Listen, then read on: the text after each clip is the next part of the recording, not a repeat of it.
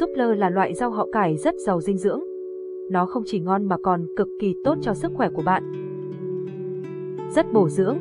Chỉ 100g súp lơ cắt nhỏ ăn sống hoặc nấu chín đã cung cấp đủ 100% nhu cầu hàng ngày của bạn về vitamin C và 25% vitamin K, nhưng đó không phải là tất cả. Súp lơ cũng chứa vitamin B6, folate, canxi, magie, kali, sắt, phosphor và protein.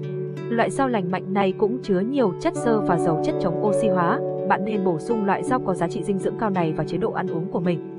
Nguồn chất chống oxy hóa tốt Súp lơ là một nguồn giàu chất chống oxy hóa giúp bảo vệ cơ thể bạn khỏi các gốc tự do và chứng viêm. Đó là bởi vì loại rau họ cải này chứa glucosinolate và isothiocyanate có thể làm chậm sự phát triển của một số bệnh ung thư và flavonoid giúp giảm nguy cơ mắc các bệnh mãn tính bao gồm cả bệnh tim. Vitamin C trong súp lơ cũng có thể làm giảm viêm và giúp tăng cường khả năng miễn dịch của bạn. Hỗ trợ tiêu hóa, súp lơ có nhiều chất xơ và cũng chứa một lượng lớn nước, cả hai đều quan trọng để giúp ngăn ngừa các tình trạng tiêu hóa như táo bón, bệnh ruột kích thích và viêm túi thừa. Ăn đủ chất xơ giúp cung cấp các vi khuẩn tốt trong đường ruột của bạn, làm giảm viêm nhiễm và thúc đẩy một đường ruột khỏe mạnh. Hãy thay thế ngũ cốc trắng bằng súp lơ và tăng cường chất xơ. Có thể giúp trí nhớ. Súp lơ là nguồn cung cấp choline dồi dào, một chất dinh dưỡng quan trọng mới được phát hiện gần đây.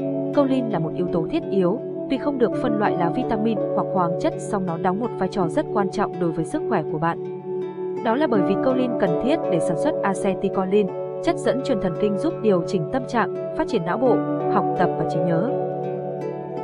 Thúc đẩy xương chắc khỏe, vitamin K trong súp lơ có thể giúp ích cho sức khỏe của xương.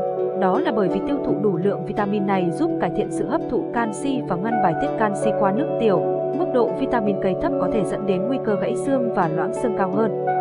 Vitamin K trong súp lơ cũng giúp đông máu,